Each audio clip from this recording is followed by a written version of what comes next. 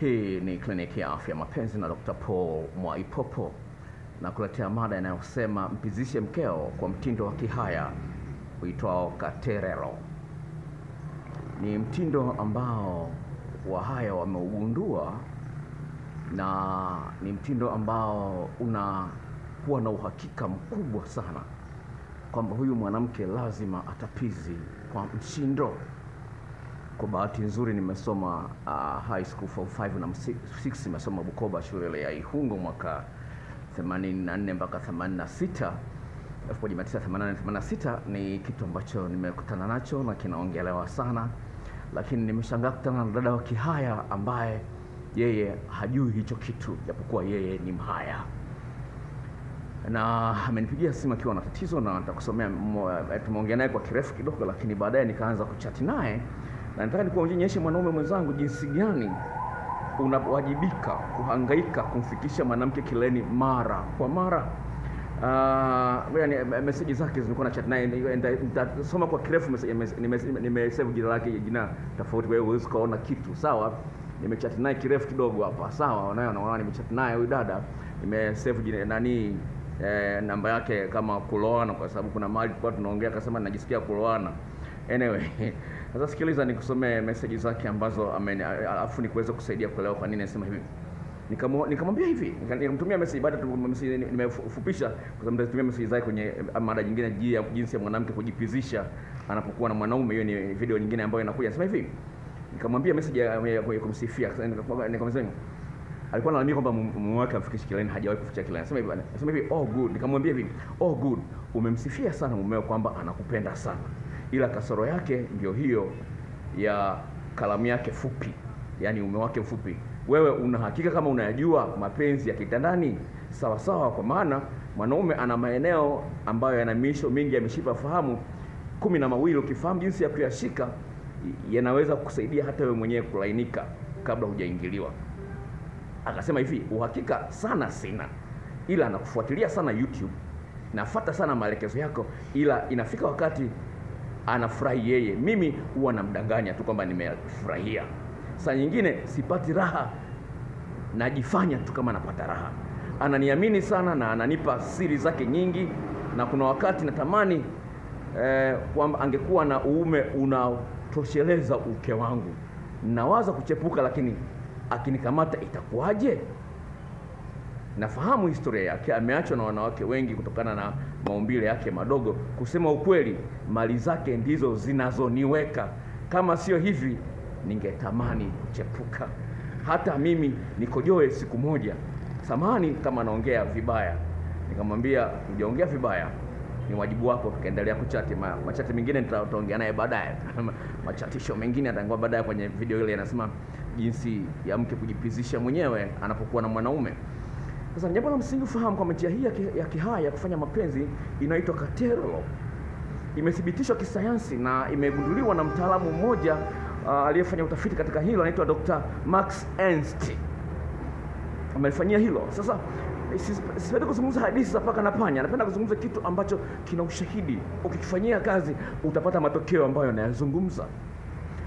Njia hii Katerero ni njia ambayo Wahaya wameigundua, na mwanaume anachokifanya sawa. Watu wengi wanasema kwamba Wahaya wana maji mengi, wana maji mengi. No, hapana, sio wana maji mengi. Kuna njia fulani ambayo ukiifanya mwanamke atapizi kwa kiwango kikubwa. Sawa. Sasa hii ni jambo la msingi ambalo, ambalo wanawake wengi wanalikosa. Sawa. Sasa wazungu ambao wamekuwa wa, ni rahisi kufunguka na kuelezea jinsi gani wanafurahia mambo hayo.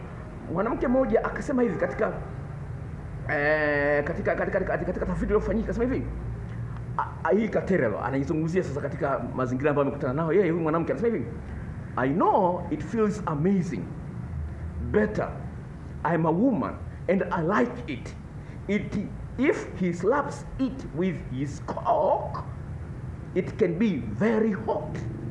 Mwanamke mwingine akasemaje? Naomba nisikilize kabla sijakupa maelezo mazito, sawa? Na kushuhuda kwanza kama kile ambacho kinawezekana na kinafaa. Sikiliza, I really enjoy being teased drives me crazy. A soft slap and a slowly rubbing my clit with his male organ just before penetration feel amazing it makes me desperate for it. Anasema hivi, anasema naipendelea sana pale mwanaume anaanza kuchezesha chezesha kupigapiga uke wangu kwa ume wake kabla hajaniingilia. Sema asema taratibu, pole pole, anagusa kwenye kisimi changu, sawa, kabla hajaniingilia. Anasema inanifanya niwe na hamu ya kuingiliwa.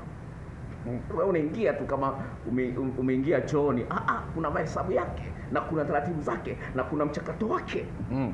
Sawa, ntakupa nitakupa maelekezo sawa, kwa sababu nimekuja hapa nimekamilika. Sawa, anasema rubbing the head against the clit is very effective in making me calm.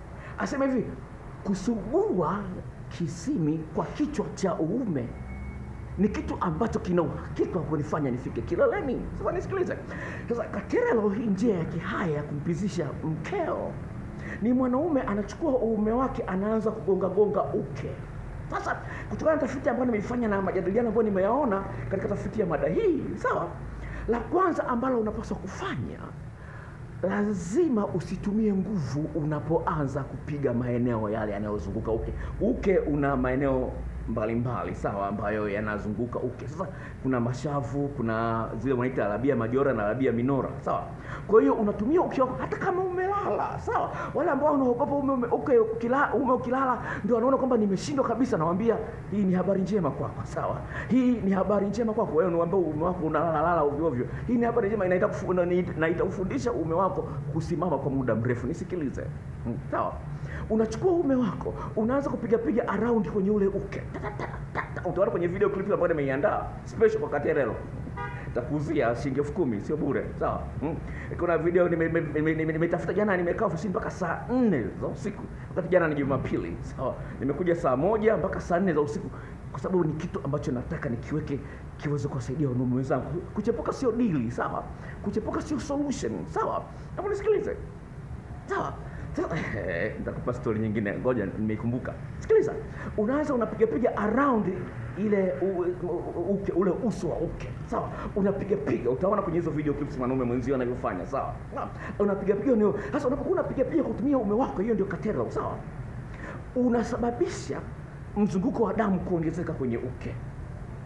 Na ukisababisha mzunguko wa damu kuongezeka kwenye uke maanake na kisimi kinavimba kama vile ume wako unavyovimba unapokuwa umejaa damu hasa ukivimba maanake unaweza mazingira mazuri ya mishipa fahamu kutengeneza mwanamke kupizi mazingira ya kupizi. Sasa unaanza kupiga piga kwenye maeneo hayo wakati unaangalia kisimi kimeanza kujitokeza. Eh, sawa. Unaangalia kisimi kimeanza kujitokeza. Kwa hiyo utaanza kuona kisimi kimevimba kinaanza kuchungulia kadogo kwenye ile mada usikose mada sawa? Ile mada ya mwanamke kujipizisha mwenyewe akiwa na mwanaume kuna kachombo fulani nitakatumia kuonyesha kisimi kilivyo kidogo sawa? Kuna kachombo fulani nitakatumia kuonyesha. Kwa hiyo usikose hiyo video ina inakuja leo leo hii tarehe uh, tarehe uh, tano mwezi wa kwanza mwaka elfu mbili na ishirini eh, elfu mbili na ishirini 2020 okay. Tusikiliza kwa hiyo unapoanza kisimi kimeanza kutokea na chenyewe unakigonga gonga taratibu sasa lakini lingine ambalo lipo kabla hujaanza kugonga, kile kisimi unatumia uume wako sawa? Unaanza unapitisha kwenye ule mpasuko wa uke sawa? Una, unachezesha chezesha kile kichwa cha uume wako. Chukulia hili kucha langu sawa? Chukulia hili kucha langu kwamba ndio kichwa cha ume sawa? Ili kucha sawa? Ili kucha sawa? Sasa hili ni kichwa sawa? Kwa hiyo huu ni uke sasa chukulia kwamba hii huu ndio ule mpasuko wa uke sawa?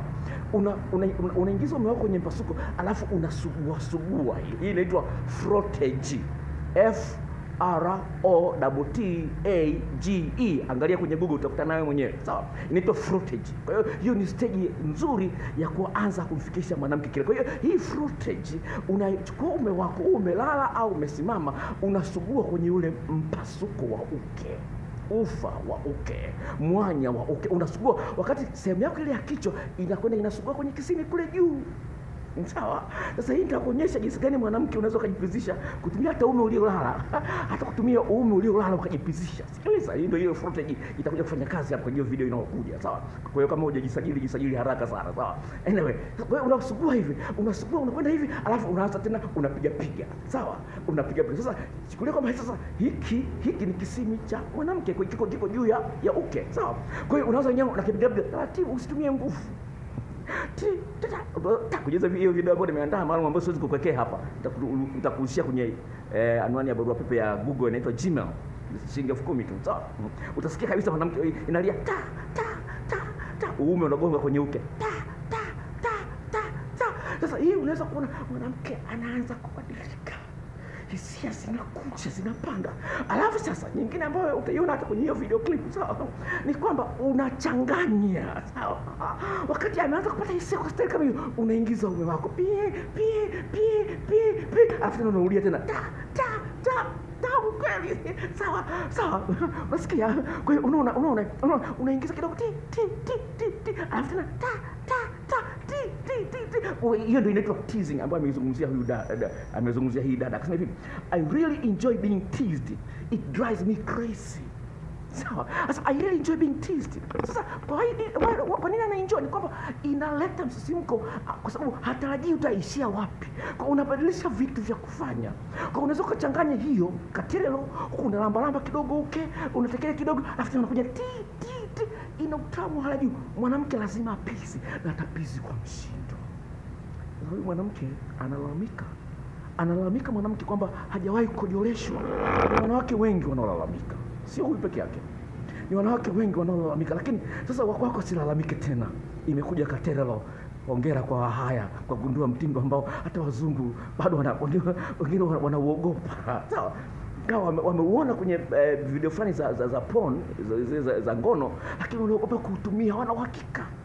Mwanamke mmoja akasemaje? Asema it's weird sawa, asema ni ajabu lakini ni tamu.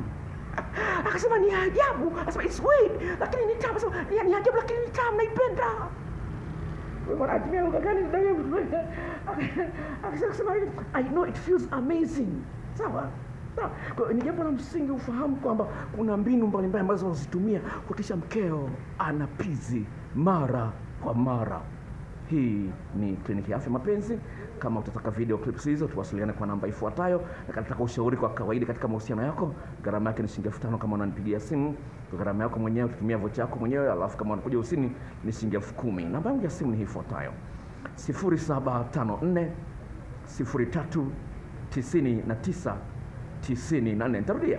0754 03 99 94. Kuna mada inakuja jisajili. Kama jisajili sawa, kuna kibox chekundu pale kimeandikwa kwa maandishi meupe subscribe, bofya pale, toka maelekezo. YouTube YouTube anakupa maelekezo. Kwa njia ya simu, utafahamishwa mapema sana video hii mpya atakapokuwa nimeweka hapa, atakutumia message papa, kama bwana, kuna video kali imeshadondoka mtandaoni kliniki ya afya mapenzi. Hii, hii channel inaitwa Dr. Mahaba. Kwa hiyo channel na video zaidi ya elfu moja. Unaweza ukachukua jina hilo Dr. Mahaba, alafu ukaliandika kwenye search box pale, ukabofya, utajifunza mambo mengi sana kwenye channel hii, na Mungu akubariki. Kwa heri, love you, bye.